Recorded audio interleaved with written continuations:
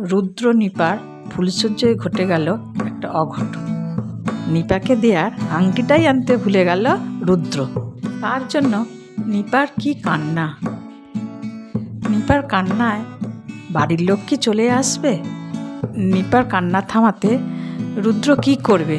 সেইটা আগামী পর্বে দেখুন। এরকম ভিডিও পেতে টেলিভিশন চ্যানেলটা আপনারা দেখতে থাকুন।